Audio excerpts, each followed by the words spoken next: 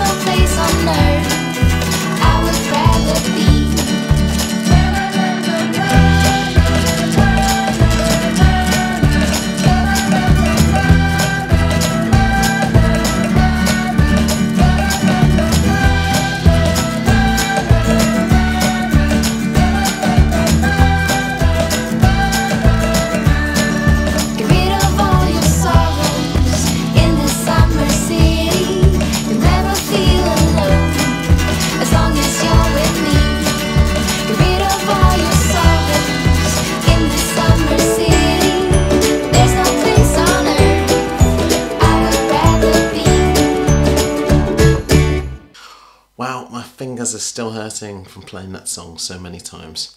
Ignoring the sound of the strumming and any key errors at times, I feel like there was a distinct difference between the three different types of microphones in this test. The USB microphones, the phone microphone and the camera microphone. And this is coming from a non-audiophile. The worst microphone for me was the camera microphone from the Sony ZV-10. It just sounded too tinny compared to the others.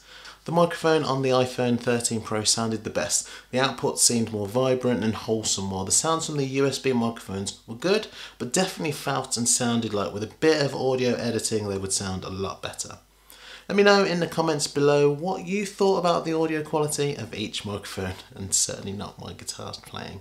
So what I've learned about this comparison of straight out of the box conditions for microphones is that no, you can't get studio level quality from them straight out of the box, but were we expecting anything other than that? But while having a dedicated microphone is good and probably in the best, the long term option with the customization that they give you editing wise. But if you're a beginner or a novice just wanting to record yourself playing or making music to put out there, then you can't go wrong with that all rounder, that ever dependable piece of tech that is your phone. If you enjoyed this video, press the like button and subscribe button as well to get more videos like this and press the bell icon to get notified every time I release a new video. That's all for me today. I'll see you on the next one.